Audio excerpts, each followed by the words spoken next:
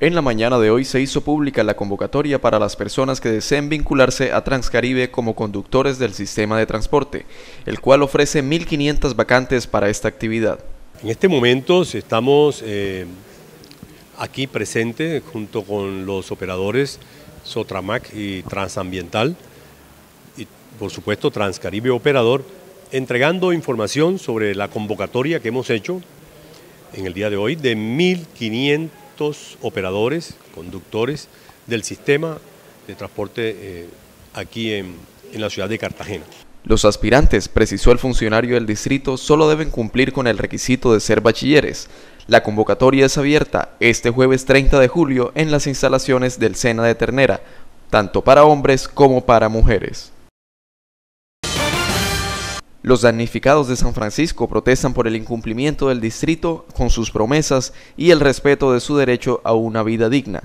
En el Consejo se concentraron personas de la tercera edad con pancartas para exigir que se solucionen sus problemas. No, todavía no tenemos ninguna respuesta porque el gobierno lo que ha estado ha sido de acuerdo con las miserablezas que nos vienen dando, por lo menos los subsidios de arriendo los pagan cuando a ellos les da la gana las viviendas que nos están dando no son unas casas dignas para nosotros.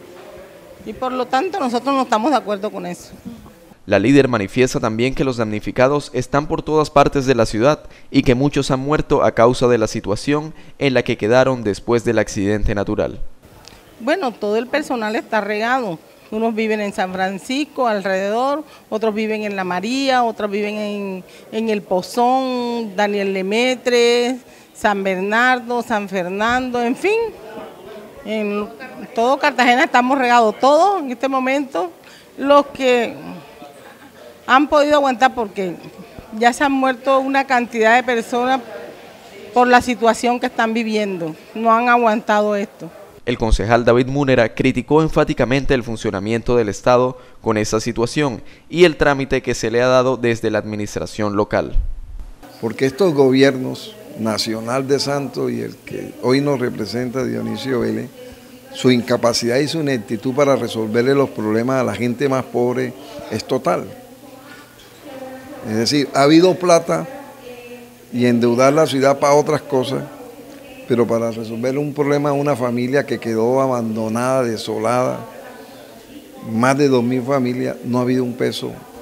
Y entonces, aquí estamos en una situación que da de verdad tristeza, dolor oír a la gente de estas comunidades expresarse ante el abandono y la desidia de los gobiernos tanto nacional de Santo como del distrital.